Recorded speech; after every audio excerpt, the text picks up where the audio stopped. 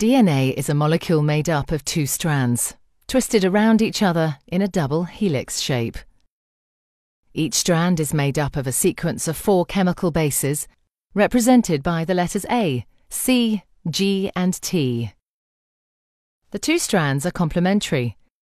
This means that wherever there's a T in one strand, there will be an A in the opposite strand, and wherever there's a C, there will be a G in the other strand. Each strand has a 5' end and a 3' end. The two strands run in opposite directions. This determines how each strand of DNA is replicated. The first step in DNA replication is to separate the two strands.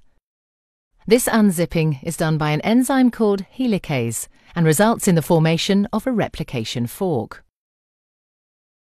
The separated strands each provide a template for creating a new strand of DNA. An enzyme called primase starts the process. This enzyme makes a small piece of RNA called a primer.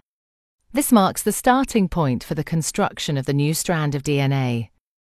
An enzyme called DNA polymerase binds to the primer and will make the new strand of DNA. DNA polymerase can only add DNA bases in one direction, from the 5' end to the 3' end. One of the new strands of DNA, the leading strand, is made continuously, the DNA polymerase adding bases one by one in the 5' to 3' direction. The other strand, the lagging strand, cannot be made in this continuous way because it runs in the opposite direction.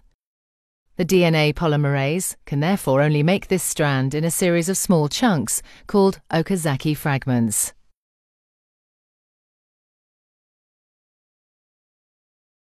Each fragment is started with an RNA primer.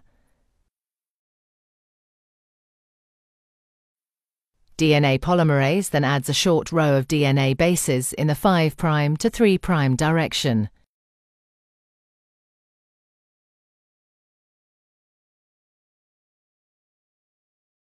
The next primer is then added further down the lagging strand. Another Okazaki fragment is then made, and the process is repeated again. Once the new DNA has been made, the enzyme exonuclease removes all the RNA primers from both strands of DNA. Another DNA polymerase enzyme then fills in the gaps that are left behind with DNA.